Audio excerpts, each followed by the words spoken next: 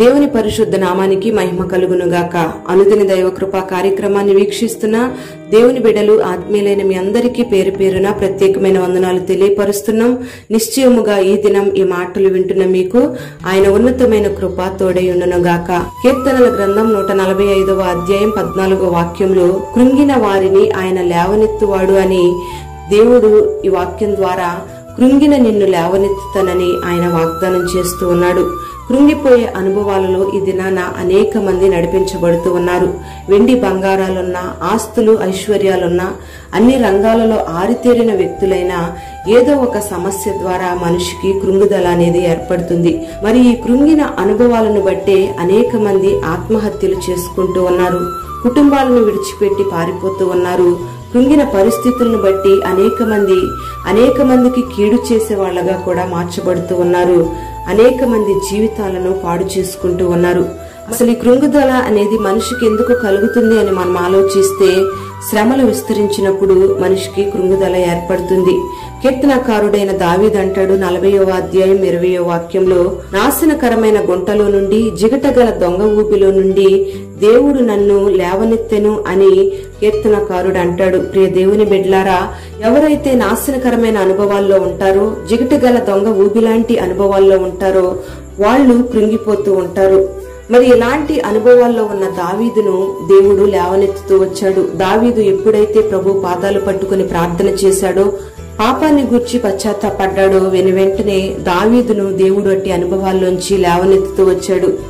దావీదును మనం గమనిస్తే దావీదు చేసిన పాపాన్ని బట్టి కృంగిపోతూ వచ్చాడు. మరి ఈ దినాలలో అనేక మంది చేస్తున్న పాపాల ద్వారా కృంగిపోతూ ఉన్నారు. రోగాల ద్వారా కృంగిపోతున్నారు. ఆర్థికమైన సమస్యల ద్వారా కృంగిపోతున్నారు. కుటుంబాలలో అసమాధాన పరిస్థితుల ద్వారా కృంగిపోతున్నారు. దావీదును మనం గమనిస్తే దావీదు చేసిన పాపం ద్వారా కృంగిపోయాడు. మరి ఆ కృంగిన అనుభవంలో ఎప్పుడైతే దావీదు ప్రభువుకు ప్రార్థన చేశాడో పాపాన్ని ఒప్పుకొని పశ్చాత్తాపడ్డాడో దేవుడు దావీదును లేవనెత్తాడు. ప్రియ దేవుని బిడ్లారా మరి కృంగిన వారిని లేవనెత్తడానికే పాపపు ఊబిలో ఉన్న వారిని లేవనెత్తి రక్షించడానికే మన ప్రభు అయిన యేసయ్య ఈ భూలోకానికి దిగివచ్చాడు మరి ఈ దినాన ఈ మాటలు వింటున్న నీవు ఏ పరిస్థితులను బట్టి కృంగిపోయావో? ఒకవేళ పాపపు ఊబిలో ఉండి లేవలేని పరిస్థితుల్లో కృంగిపోయి ఉన్నావేమో?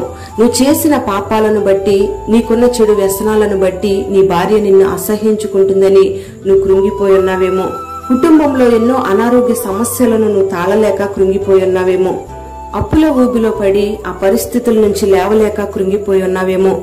కుటుంబంలో మారని యజమానుని బట్టి మార్పు లేని బిడ్డలను బట్టి కృంగిపోతూ ఉన్నావేమో.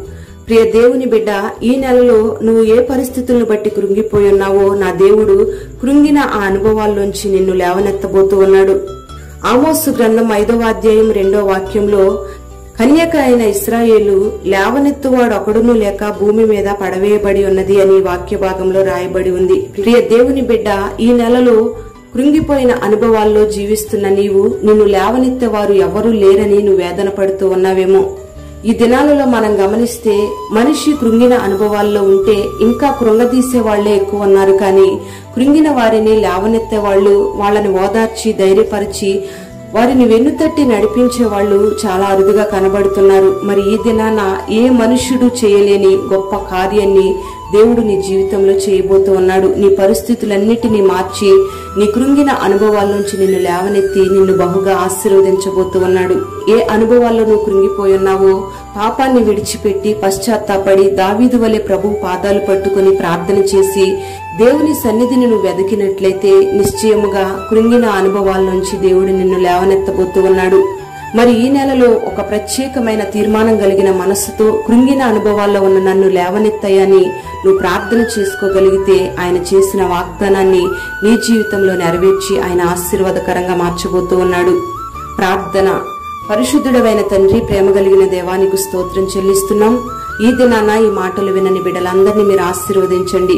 ఎవరైతే కృంగిపోయిన అనుభవాల్లో ఉన్నారో ఆర్థికమైన ఇబ్బందులను బట్టి అప్పుల సమస్యలను బట్టి పాపపు జీవితాన్ని బట్టి అనారోగ్య సమస్యలను బట్టి నెమ్మది లేని అనుభవాలను బట్టి ఏ పరిస్థితుల్లో నీ బిడ్డలు కృంగిపోయి ఉన్నా నీ బిడ్డలు మీరు ఆశీర్వదించి ఆ కృంగిన అనుభవాల నుంచి మీరు లేవనెత్తండి. ప్రతి బిడ్డను పేరు పేరున దీవించండి. ఈ నెలంతా కూడా సమృద్ధి అయిన కృపనివ్వండి. మంచి ఆరోగ్యం ఇవ్వండి. కుటుంబాలలో సమాధానం ఇవ్వండి.